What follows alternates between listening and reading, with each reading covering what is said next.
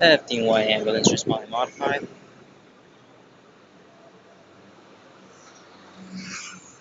F-Y engine 33 passing by.